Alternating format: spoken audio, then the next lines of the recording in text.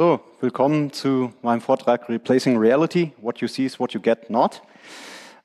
Anyone here not understanding German?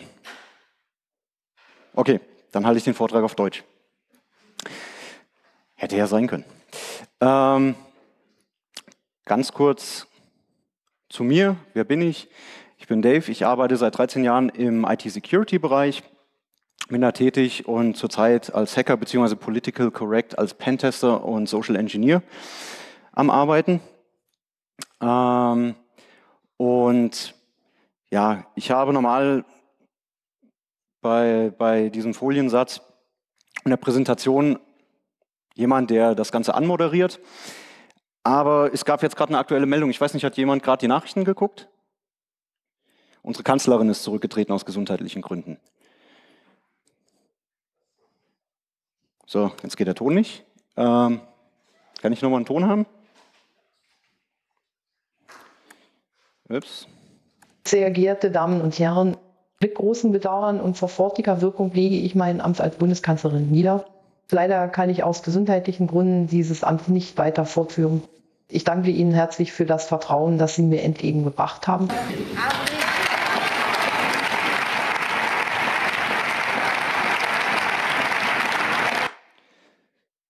Also das war gerade, äh, habe ich noch schnell eingebaut, wer es noch nicht gelesen hat oder mitbekommen hat. Ähm, okay, bevor sich manche zu früh freuen, nein, sie ist nicht zurückgetreten. Ähm, ja, soweit reicht dann meine Manipulationsmöglichkeit doch nicht. Aber ansonsten, wie gesagt, ich habe normal ähm, einen recht prominenten, der ein, kurze einleitende Worte dann bringt. Und das möchte ich natürlich nicht vorenthalten.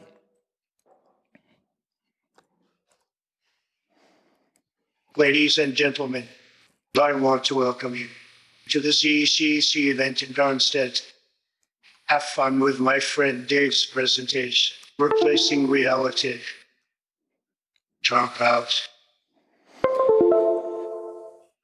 Ja, ähm, also anscheinend bin ich auch ein Freund von Donald Trump.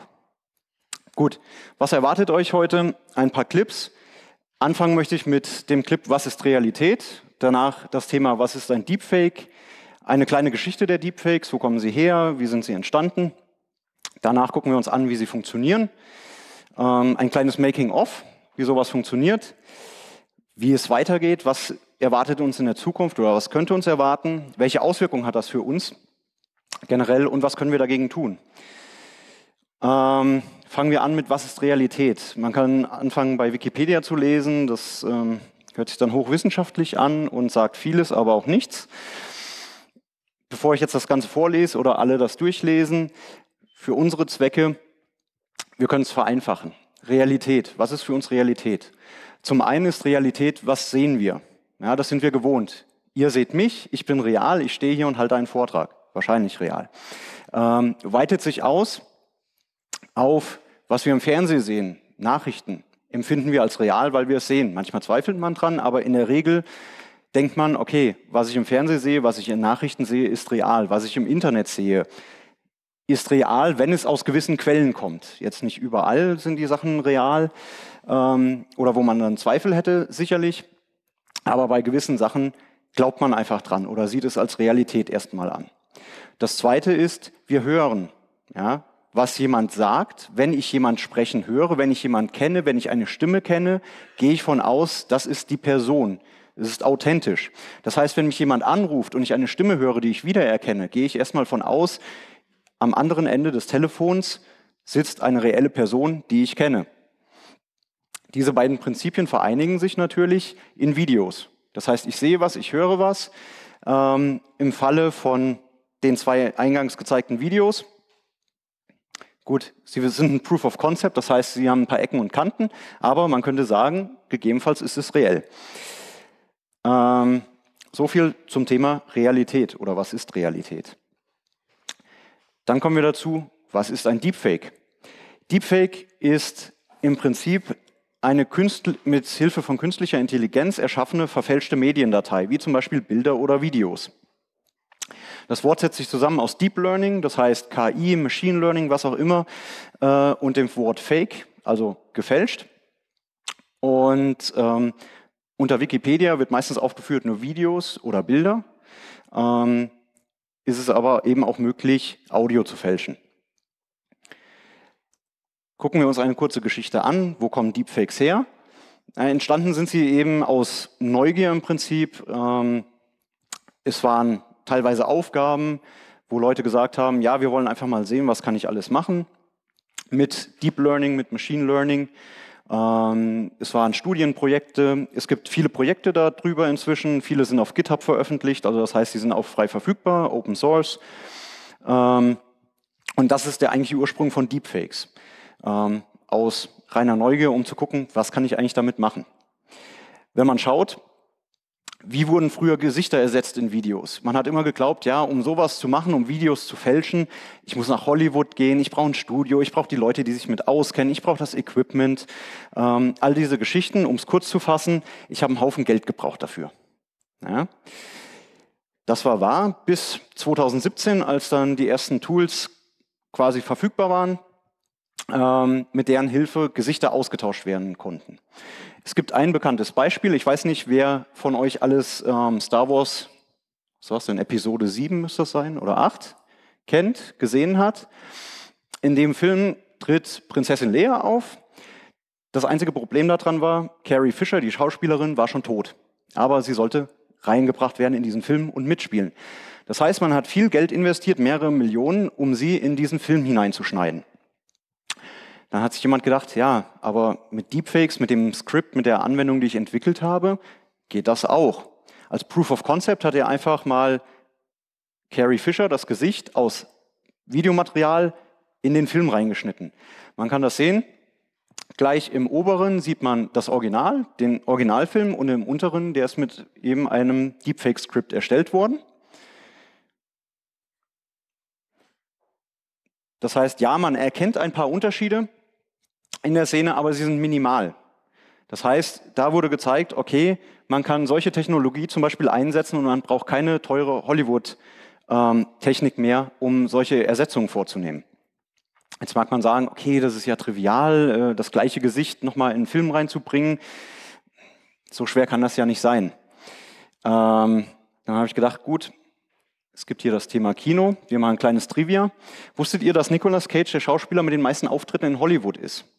Also bekannt ist er zum Beispiel im Film wie Face Off, wo er und John Travolta das Gesicht tauschen. Aber er hat auch viele Cameo-Auftritte. Zum Beispiel in Superman. Kennt jemand den neuesten Superman-Film? Irgendjemand den gesehen? Okay. Aber vielleicht entdeckt ihr gleich Nicolas Cage ähm, in dem Film.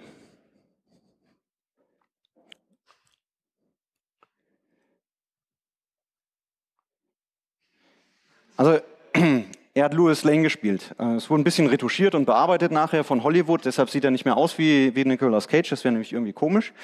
Aber wenn man bei YouTube sucht, man findet viele Clips inzwischen, wahrscheinlich war Face Off der Grund dafür, wieso man ihn genommen hat, aber man findet einfach viele Clips, bei denen Nicolas Cage einfach in bekannte Filme ähm, ziemlich gut hinein integriert wurde und deep gefaked wurde. Ähm, schaut man einfach mal, welche Quellen es noch so gibt oder wann Deepfakes bekannt wurden, besonders Anfang dieses Jahres. Ähm, wenn man sich anschaut, wo es aufgetreten ist, hauptsächlich, äh, hauptsächlich bei ähm, Deepfake Porn.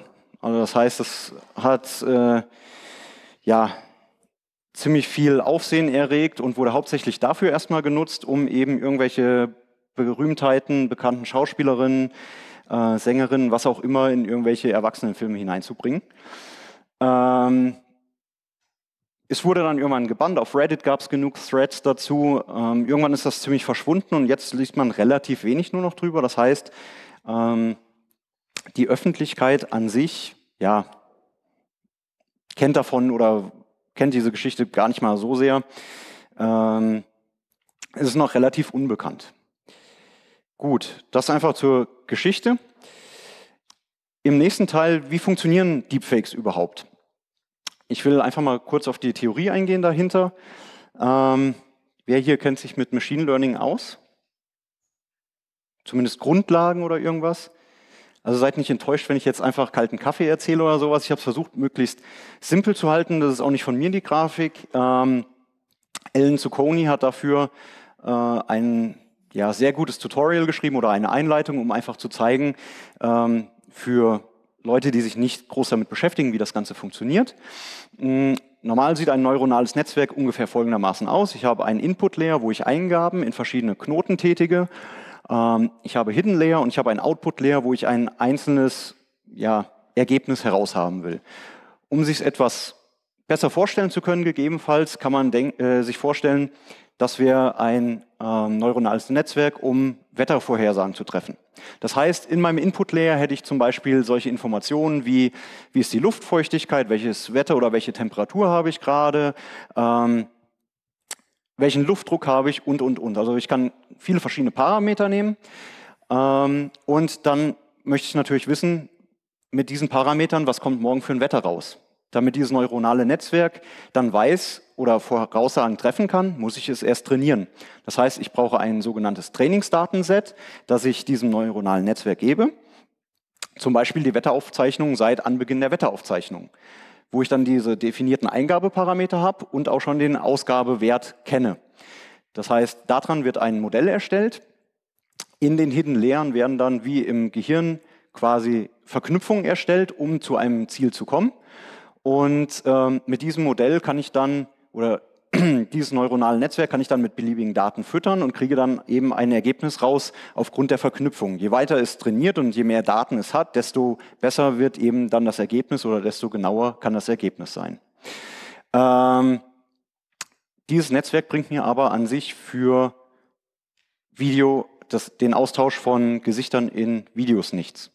Dafür werden sogenannte Autoencoder genutzt. Autoencoder ist ein spezieller Typ von neuronalen Netzwerken, bei dem ich nicht ein, sondern mehrere Ausgabeknoten habe und wo mein Ziel ist, dass ich sage, die Eingabeknoten beziehungsweise jeder Ausgabeknoten soll dem gleichen Eingabeknoten entsprechen. Das heißt, der erste Eingabeknoten soll den gleichen Ausgabewert haben als Ausgabeknoten und so weiter und so fort. Da gibt es nur ein kleines Problem.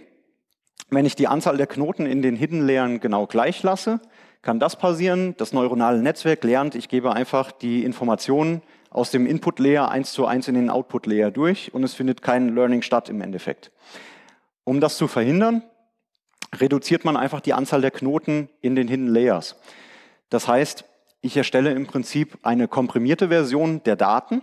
Ich habe einen Encoder, der sozusagen die Eingabeknoten komprimiert auf eine kleinere Anzahl von Knoten und ein Decoder, der aus dieser kleinen Anzahl von Knoten wieder die ursprünglichen Informationen herstellen kann. Wenn man sich das für ein Bild anguckt, sieht es folgendermaßen aus. Ich habe mein Originalbild, ich habe einen Encoder, der eben die Bildinformationen komprimiert, dass ich ein latentes Gesicht habe, so heißt das ganze Ding da in der Mitte. Das heißt, ich kann noch erkennen, ja, es ist ein Gesicht, was lächelt in dem Fall, ähm, aber ich habe keine anderen Merkmale mehr wie Haare, Gesichtsfarbe oder sonstige Geschichten. Also ich habe einfach die Anzahl der Informationen oder der Knoten komprimiert und der Decoder-Teil, der kann einfach aus diesem latenten Gesicht, aus dieser komprimierten Informationsmenge wieder das ähm, Gesicht herstellen im Endeffekt. Wie kann ich also Bilder oder Gesichter jetzt austauschen? Ganz einfach, ich nehme zwei Autoencoder. Der eine Encoder lernt mit dem einen Trainingsset, der zweite lernt mit dem zweiten Trainingsset und erstmal lernt er aus dem Originalgesicht ein latentes Gesicht herzustellen und das gleiche Gesicht wieder herzustellen. Ähm, um jetzt Gesichter auszutauschen, ist das ganz einfach. Man geht her und sagt, man dreht einfach die Decoder um. Das heißt, die Encoder komprimieren immer noch den gleichen Datensatz, aber ich nehme einen anderen Decoder. In dem Fall, wir haben eine lächelnde Frau als, als Gesicht 1 oder Gesicht A und einen traurigen Mann als Gesicht B. Im latenten Gesicht kann man erkennen, das latente Gesicht A lächelt noch, das sind die komprimierten Informationen von dem Bild der Frau. Und das latente Gesicht B ist traurig, das vom Mann. Dadurch, dass ich die Decoder jetzt umtausche, erhalte ich eben ein trauriges Gesicht einer Frau und ein lächelndes Gesicht eines Mannes. So funktionieren ganz abstrakt gesagt Video-Deepfakes. Jetzt heißt ja, aber das ist ja ein Video und kein Bild. Ja, ein Video besteht halt aus ganz vielen Einzelbildern. Ähm, sprich, ich kann hier einfach splitten in ganz viele Einzelbilder. Ja, ich könnte das auch manuell machen, um dann Änderungen dran vorzunehmen. Nur bei einer Länge von ja, 60 Sekunden habe ich schon sehr viele Bilder, die ich bearbeiten müsste. Ähm, das möchte, glaube ich, keiner mehr händisch machen. Gut, wie funktionieren Audio-Deepfakes? Ähm, für Audio-Deepfakes gibt es verschiedene wissenschaftliche Paper für Text-to-Speech-Systeme und wie man Sprache oder Sprecher für diese Systeme synthetisieren kann. Text-to-Speech kennen vielleicht noch manche aus Windows 98 oder so, da war das dann mal ganz modern, Text einzugeben, der dann gesagt wurde. Ähm, ist zwischenzeitlich verschwunden, aber inzwischen ist es wieder ganz aktuell. Ähm, Google hat unter anderem Tacotron V1 und 2 veröffentlicht, wird für Google Maps genutzt, für Google Home. Also alles, was man bei Google hört, ist synthetisierte Sprache mit einem Text-to-Speech-System oder einer Engine. Von Baidu gibt es Deep Voice, ähm, gibt noch viele verschiedene andere. Nur ähm, da gehe ich jetzt nicht im Detail drauf ein, weil das ist ein Auszug aus einem der Paper. Das ist noch etwas komplexer als ein Auto Encoding, ähm, neuronales Netzwerk. Wer es genauer wissen möchte, ähm, kann gerne Bescheid sagen, kann ich dann gerne noch mehr Informationen zu geben.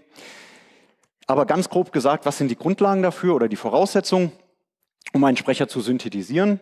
Ich brauche fünf bis sechs Stunden Audiomaterial eines Sprechers, den ich synthetisieren will. Mehr ist immer besser.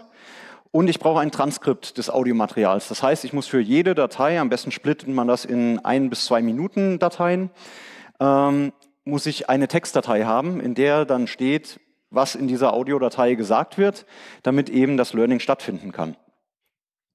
Ähm, das einfach mal im Hinterkopf behalten, weil dazu komme ich jetzt dann noch beim Making of a Deepfake. Gut, gucken wir uns einfach mal an, wie so ein Deepfake entsteht dann. Was brauche ich dafür? Ich habe dafür gebraucht eine Webcam, ein Greenscreen und eine Nvidia-Grafikkarte. Nvidia-Grafikkarte ist äh, erforderlich, geht leider keine andere, weil ich brauche CUDA, um entsprechend damit TensorFlow, äh, TensorFlow zu nutzen. Guckt man sich die Kosten an, ihr erinnert euch vorhin, Hollywood, richtig viel Geld. Hier Webcam 80 Euro, Greenscreen hat 90 gekostet. Die Grafikkarte war etwas teurer, weil ähm, entsprechende Grafikkarten auch für Cryptocurrency Mining genutzt werden und hohe Nachfrage, hoher Preis. Aber geht auch noch im Vergleich zu mehreren Millionen. Krawatte, Perücke, Pin, 30 Euro ungefähr. Präsident der USA zu sein, ist unbezahlbar. Oder man kann Trump fragen, also einen Preis wird schon haben. Ähm, und wenn wir jetzt einfach mal gucken, äh, wie sieht das Ganze Side by Side aus? Äh, das links war das Video, was ich gedreht habe und rechts war dann das Ergebnis, was ihr am Anfang sehen konntet. Also ich habe auch nicht unbedingt eine Ähnlichkeit mit Trump, normalerweise. Jetzt erst recht nicht mehr mit Bart, aber ähm, so ist das Ganze entstanden. Ja, also einfach mal um einen Vergleich zu haben, es gibt auch genug, wenn ihr schon mal geguckt habt, mit Obama gibt es einige Videos, wo es gezeigt wird. Ähm, das ist jetzt eben auch nur ein Proof of Concept, der nicht optimiert ist. Man kriegt es auch definitiv noch besser hin, dass es wesentlich schwerer zu erkennen ist, das Ganze. Gut, gucken wir uns an, was wir für einen Audio-Deepfake brauchen. Ich habe gesagt äh, vorhin ja kurz, ähm, ich erstelle ein Modell für, für mein neuronales Netzwerk anhand von Sprachdaten und ich brauche fünf Stunden plus ein Transkript des Textes. Das heißt, fünf Stunden Trump anhören, mindestens. Also, sorry. Ähm, ich, ich mache ja viel für, für meine Arbeit, äh, für meine Firma und für, für die Wissenschaft, aber irgendwo gibt es Grenzen, die man einfach nicht überschreitet. Ähm, zum Glück kam, kam mir GitHub zu Hilfe. Äh, auf GitHub gibt es jemand, äh, Cube Young, der mehrere von diesen Text-to-Speech-Systemen umgesetzt hat, äh, teilweise umgesetzt hat. Und ähm, er wurde auch oft gefragt, ja, wie viel Material, wie viel Audiomaterial eines Sprechers brauche ich denn jetzt wirklich, um ein neues Modell einer Sprache zu erstellen? Und er hat gesagt, hm, ist es möglich, mit Hilfe von einer Minute Audiomaterial eines Sprechers eine Stimme neu zu ähm, synthetisieren im Prinzip, wenn ich ein vorhandenes Modell nehme. Sprich, es gibt Demo-Datensätze, ähm, vor allem zum Beispiel das sogenannte LJ Speech Set. Das ist ein ganz bekanntes, öffentlich verfügbares ähm, Trainingsset für Stimmen. Das sind 24 Stunden englischsprachiges Material mit entsprechendem Transkript dazu, was öffentlich verfügbar ist. Damit kann normal trainiert werden. Ähm, da gibt es auch für die verschiedensten Implementationen von Text-to-Speech äh, gibt es dann ein entsprechendes Set und ein Modell. Und ich bin einfach hergegangen, habe eine Minute von Audiomaterial von Trump genommen, habe für 1000 Schritte einfach dann äh, das neuronale Netzwerk trainiert und konnte damit dann Trump synthetisieren. Äh, für Merkel habe ich von den Münchner AI Labs, die stellen rund 80 Gigabyte an Sprachdaten zur Verfügung in zwölf verschiedenen Sprachen, unter anderem Merkel. Damit kann man natürlich dann noch bessere Ergebnisse mit weniger Artefakten in den Stimmen erzielen. Ähm, mit Tacotron zum Beispiel ist es noch besser möglich, entsprechende Audiodateien zu erstellen. Nur da habe ich es bisher noch nicht hingekriegt, ähm, entsprechend mit weniger Audio Audiomaterial eine Stimme komplett zu synthetisieren. Gut, die Frage ist, wie geht es weiter? Was erwartet uns da noch in der Zukunft? Ähm, die Deepfakes werden immer besser werden, die Technologie dazu wird immer besser und es wird immer schwerer, die zu erkennen. Ich habe hier einfach mal ein paar Sprachbeispiele von ähm, Googles Tacotron-Team mitgebracht, die veröffentlichen das im Blog, wo man einfach mal hören kann, der gleiche Satz gesagt von verschiedenen Stimmmodellen. Thinking that he should probably wait for Filch to come back, Harry sank into a moth-eaten chair next to the desk. Thinking that he should probably wait for Filch. Ja, danke. Ähm Normal sollte irgendwo ein Pausenbutton sein. Thinking that he should probably wait for Filch to come back, Harry sank into a moth-eaten chair next to the desk. There was only one thing on it apart from his... Gut, und so weiter und so fort. Ich spiele die anderen beiden jetzt nicht ab. Aber man hört, das war der gleiche Text von vermeintlich zwei verschiedenen Sprechern, die aber beide einfach nur synthetisiert worden sind. Mit entsprechenden Pausen, ähm, die nicht komplett in der gleichen Zeit gesprochen haben und so weiter und so fort. Also das ist, was es schon gibt, was zum Beispiel von Google eingesetzt wird. Die ähm, öffentlich verfügbaren Implementationen von Tacotron, die auf den Papers von Google äh, basieren, die sind eben leider noch nicht so weit oder zum Glück noch nicht so weit, je nachdem, wie man es sieht. Aber das ist einfach, dass man mal eine Aussicht hat, wo wird es überhaupt hingehen oder was erwartet uns da in Kürze. Ähm, Natürlich wird diese Technologie sowohl zum Guten als auch zum Schlechten genutzt werden können, ja, muss man sagen. Ähm, wenn wir uns konkret anschauen, welche Auswirkungen kann das für uns haben, für die Gesellschaft und besonders im Hinblick auf Angriffsszenarien auf uns, äh, eben über soziale Medien, über das Internet und so weiter und so fort, muss man sagen, es sind keine komplett neuen Dinge. Ähm, ist macht einfach vorhandene Angriffsszenarien viel schwerer zu erkennen und erweitert diese einfach um eine Komplexitätsstufe. Und ähm, wenn man überlegt, ja, die Übernahme von Identitäten, ja, ähm, es wird viel leichter werden, wenn ich einfach entsprechend von Personen Videomaterial habe, wenn ich jemanden anrufe und eben mit einer Person am Telefon für eine Minute spreche, für zwei Minuten spreche, das aufnehme, ähm, kann es mir möglich sein, einfach daraus eine komplette Text ein Text-to-Speech-Modell zu entwickeln und dann diese Person vermeintlich sagen zu lassen, wozu ich Lust habe und was ich gerade eingebe. Ein Punkt davon ist sogenannter C-Level-Fraud, also viele kennen wahrscheinlich oder haben davon gehört, wo dann ähm, vermeintlich ein Geschäftsführer oder ein Finanzvorstand gesagt hat, bitte überweist doch mal so und so viel, weil wir irgendeine Firma akquirieren wollen. Hm, hat sich inzwischen rumgesprochen. Manche Unternehmen sind äh, da etwas wachsamer jetzt. Bei manchen wird es immer noch per Mail funktionieren. Aber wenn man sich vorstellt, irgendein Mitarbeiter, eine Mitarbeiterin wird angerufen, an der anderen Seite hört man die Stimme des vermeintlichen Geschäftsführers, ähm, der sagt, ich bin gerade im Ausland, die Verbindung ist nicht ganz so gut, ähm, aber überweist doch mal bitte so und so viel und einen passenden Prätext, also eine Geschichte, eine Legitimation erstellt, wieso es jetzt einen Moment dauert mit dem Versatz, ähm, bis das Audio erstellt worden ist, dann kann man damit noch wesentlich realistischer angreifen. Wenn ich sage, es dauert einen kleinen Moment, bis ich eine Datei oder einen Text, den ich geschrieben habe, zu einem Audiofile umwandeln kann, dauert ungefähr zwei bis drei Sekunden normalerweise. Das heißt, ich kann während des Telefonats Text eingeben, den ich mir dann synthetisieren lasse äh, oder vorlesen lasse und sage einfach, okay, ich bin gerade in einer Gegend, wo die Verbindung nicht so schlecht ist, deshalb dauert das vielleicht einen Moment, bis ich reagiere. Ja. Ähm, weiterhin Erpressung. Erpressung von einzelnen Personen zum einen heißt, ich könnte zum Beispiel sagen, ich kann ein Video erstellen von einer Person, und sagen, hm, ja, ich bringe eine Person in ein Video, die zeigt, wie diese Person zu einer anderen Frau oder Mann geht, je nachdem, und sagt, ja, du warst doch neulich auf Geschäftsreise und hast da deinen Liebhaber, Liebehaberin besucht. Wenn du nicht willst, dass dein Partner das Video sieht, dann mache XY, bezahle uns so und so viel Geld oder stecke einen USB-Stick bei dir in der Firma ein oder bringe uns Daten oder sonst irgendwas. Ähm, wir hatten uns vorhin noch kurz drüber unterhalten. Bei Kriminalämtern gibt es zum Beispiel jetzt diese Online-Plattform, wo man Videobeweise hochladen kann. Ähm, und dann entsprechend erstmal eine Ermittlung angestoßen werden muss. Das heißt, wenn ich da ein entsprechendes Video hochlade, muss dann erstmal ermittelt werden. Wenn ich da eine Person habe, die ich nicht leiden kann, schneide ich die vielleicht in ein Video, die eine Straftat zeigt mit dieser Person. Und dann komme ich aber erstmal in Erklärungsnot, weil dann muss ich den Beweis erbringen, dass ich das nicht gemacht habe. Oder die Person muss den Beweis erbringen, dass sie das nicht gemacht hat. Ähm, das sind Beispiele einfach dafür, was man machen kann oder was passieren kann.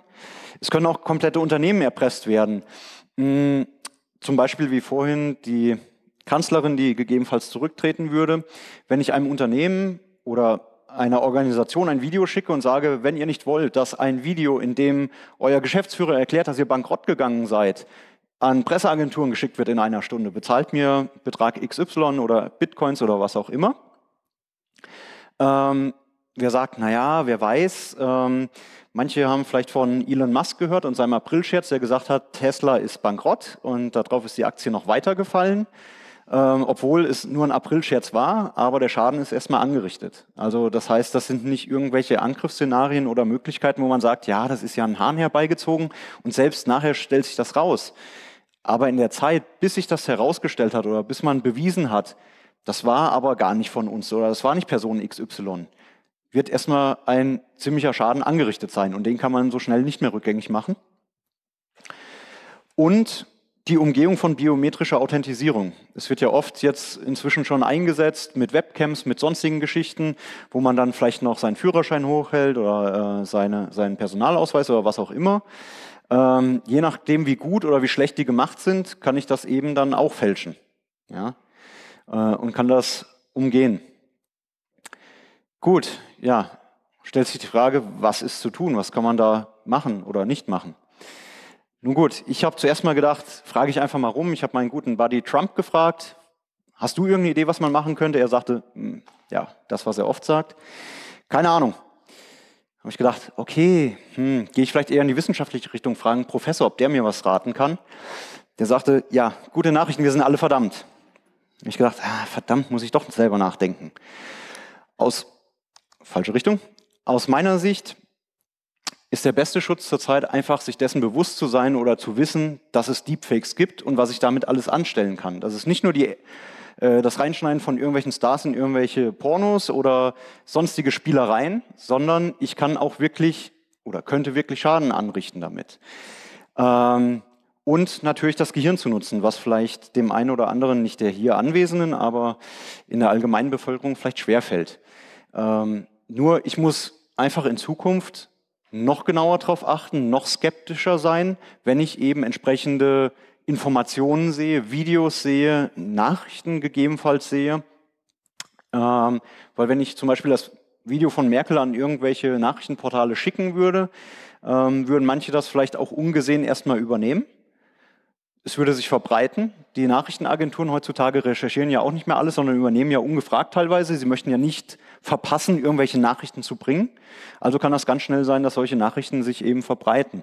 Und da ist halt wichtig, wenn ich was sehe, vor allem Videos oder was höre inzwischen, ähm, dass ich wirklich überlege, kann das so sein oder ist es vielleicht doch nicht ganz so? Es wird weiterhin natürlich auch an Programmen gearbeitet ähm, für die Erkennung von Deepfakes. Ähm, die Münchner AI Labs sind da eben auch mit ähm, ausschlaggebend und leisten da große Arbeit.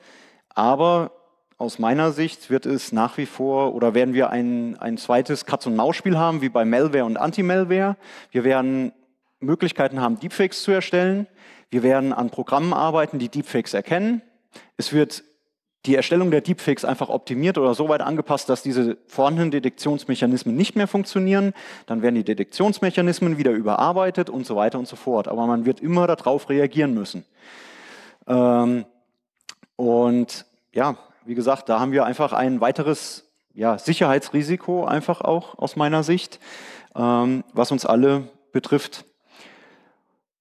Gut, ja, dann bin ich schon bei Fragen angelangt.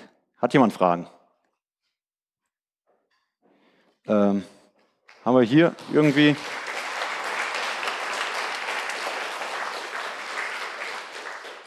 Ist das an? Jetzt ja? Ich laufe einfach mal da hoch.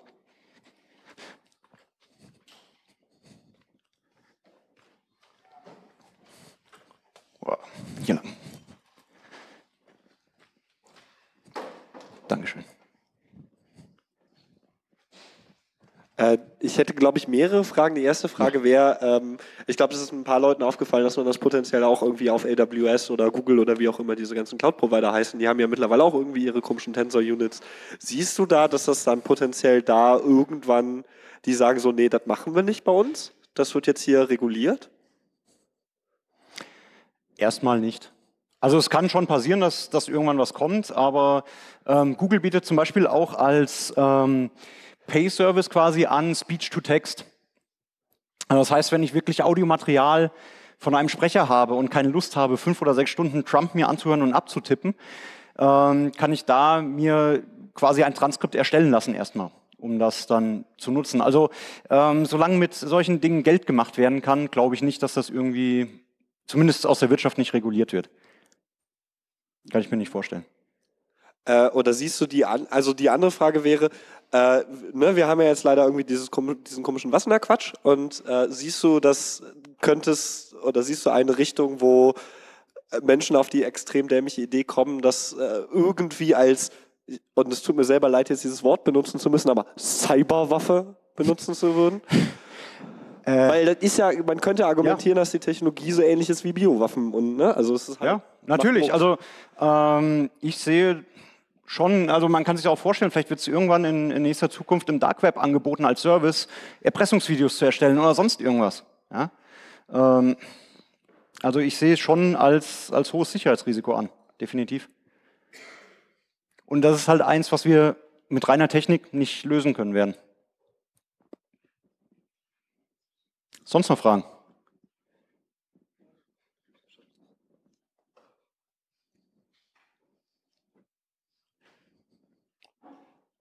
Für Audiodateien hatten wir das jetzt gehört, aber äh, für die ähm, Video-Deepfakes, äh, wie groß müssen denn da die, die Trainingsdaten sein und wie sehen die aus? Ähm, ich habe normalerweise, also jetzt um das Video zu erstellen von Trump, hatte ich zehn Minuten oder fünf Minuten oder sowas genommen. Also normalerweise reichen zwei bis 3.000 Bilder, am besten mit verschiedenen Mimiken oder Winkeln auch. Ähm, und ich sag mal, von Einzelpersonen ist es teilweise die Frage, ob ich das jetzt von jeder x-beliebigen Person hier im Raum zum Beispiel hinbekommen würde, einfach so, anhand äh, irgendwelchen Informationen, die geteilt werden. Wenn man überlegt, ähm, in der heutigen Generation, die Jugend zum Beispiel heute, die, die sind ja äh, ganz scharf drauf, ihm entsprechend Videos zu teilen, irgendwas zu posten oder sonst irgendwas oder andere Personen im, des öffentlichen Lebens, von denen existiert genug Videomaterial, Bildmaterial, damit ich das einfach eben so umsetzen kann. Und da bedarf es auch keiner speziellen Vorbereitung, Überarbeitung oder sonst irgendwas. Also ich habe einfach für, für jetzt dieses äh, Modell von Trump, habe ich einfach ein Video von YouTube irgendeins genommen mit HD-Qualität und entsprechend das genutzt, um das Modell zu trainieren.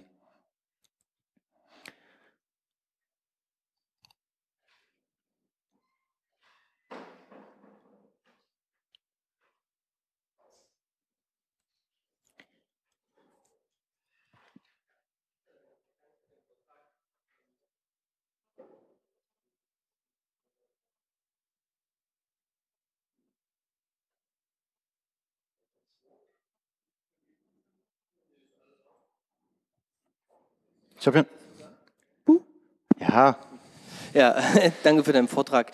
Ähm, was mich interessieren würde, wie sieht das aus, wenn es äh, jetzt darum geht, dass, äh, was wir jetzt gesehen haben, war ja zum Beispiel die äh, Frau Merkel oder der Trump, die haben ja keine Brille, die haben keine Ohrringe, die haben keine Piercings oder sonst irgendwas. Wie sieht es da aus? Funktioniert das auch so gut oder? Also mit Bart funktioniert es nicht. Das ist auch der Grund, wieso mein Bart jetzt so kurz ist. Ähm, weil ich halt, äh, also das, das, Problem ist halt wirklich, wenn, wenn ich äh, ja, den Bart im Gesicht habe, ähm, wird der Teil nicht richtig erkannt, beziehungsweise wird nicht richtig konvertiert. Ja, also da schon, das heißt, ich brauche schon eine Person, die möglichst original aussieht oder möglichst ähnlich ist. Ja, ähm, dann kriege ich das auch mit einer Brille zum Beispiel hin, wenn ich sage, ich habe genau das gleiche Modell einer Brille. Ja, oder eins, was wirklich halt hinkommt, ähm, was möglichst nah da dran ist. Es hilft natürlich auch, wenn die Person, auf die ich ein Gesicht projizieren will, möglichst nah von, von den Gesichtszügen und allem ist von der Person, die ich halt eben äh, auf dieses Gesicht legen will. Das auf jeden Fall. Ähm, es gibt, ja, das, das kann ich dann nachher nochmal erzählen, weil es fällt dann eher in diese Erwachsenenfilme äh, rein. Aber da gibt es Beispiele davon, dass es auch mit, ähm, ja, ja, mit was auch immer, ja. Also ja, es funktioniert bis zum gewissen Grad. Ja, achso, äh, Geht das Mikro hier auch? Moment. Ja, das geht auch. Hallo? Kleinen Moment bitte, wir haben, wir haben hier unten auch noch eine Frage. Von der Art und, von der Art und Weise, wie Deepfakes äh, funktionieren, die Modellierung und der Aufwand, der getrieben wird, denkst du, das wird zu einem normalen Arbeitswerkzeug, dass zum Beispiel dann bestimmte Szenen eben gerade in Hollywood nicht neu gedreht werden, weil man ja den Mundwinkel, die Augen, die Position, das Gesagte einfach ansprechen kann? Und zweites, ob dann auch zum Beispiel, wenn ich synchronisiere, in einer anderen Sprache, eine andere Mimik habe oder die Sätze sind länger, das dann auch einfach als Werkzeug nutzen werde? Also ich habe mal gelesen, dass es die Überlegungen gab oder, oder die Möglichkeiten geben könnte, zum Beispiel, dass ähm, entsprechend ja nicht mehr Schauspieler wirklich in Filmen mitspielen, sondern irgendwelche Doubles und ähm, dass dann einfach nur Schauspieler quasi ihr Gesicht lizenzieren. Ja, dass sie sagen, wir nehmen einfach ein Video von mir auf in verschiedenen Positionen und so weiter und so fort. Äh, und das könnt ihr dann einfach in diesen Film bringen. Und ja, damit könnte ich dann zum Beispiel eben auch äh, in verschiedenen Sprachen oder halt mit einer anderen Mimik das machen für verschiedene Sprachen. Und auch, dass die Lippensynchronisation dann passt. Also ist durchaus denkbar. Ähm, ob oder wann das kommt, kann ich nicht genau sagen. Ich meine, Hollywood steckt bestimmt auch eine gewisse Industrie hinter diesen ganzen ja, Videoschnittsachen und sonstigem. Ähm, muss man gucken. Aber für Heimfilme, um jetzt zu sagen, ich bringe einen Hollywood-Star in meinen Heimfilm oder was auch immer oder Amateurfilm, äh, den ich irgendwann drehe und auf einem Film fest zeigen will oder so, dann ist das schon eine Technologie, die ich nutzen könnte. Da oben war noch eine Frage.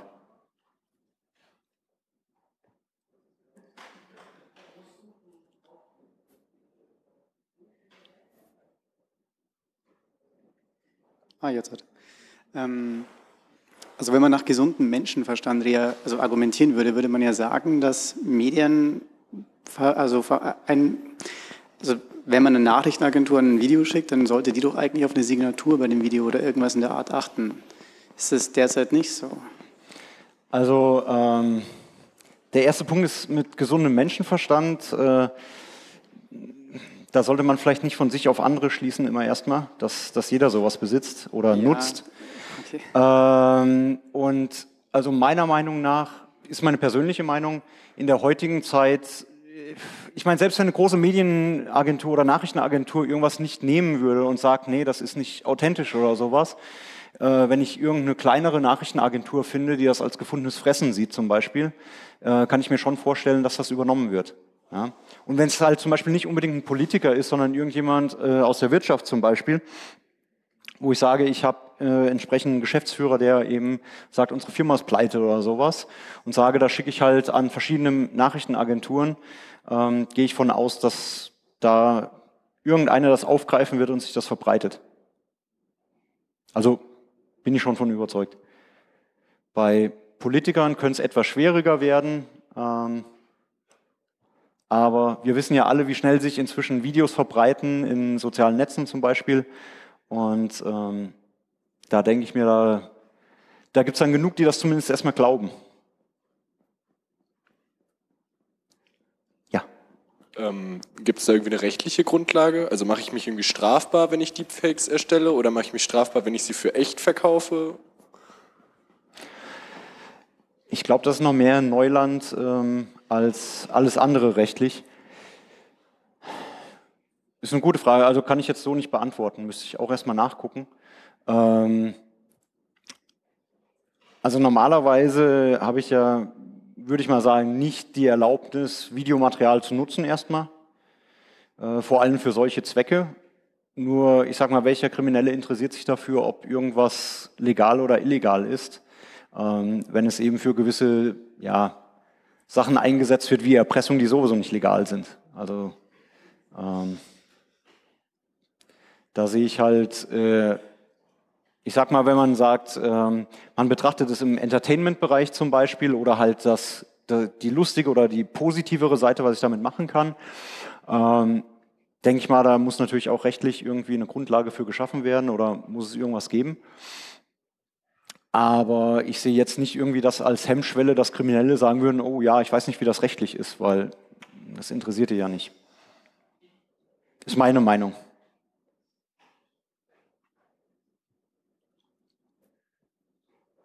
Sonst noch Fragen? Gut, dann ist auch der Film zu Ende und der Tag.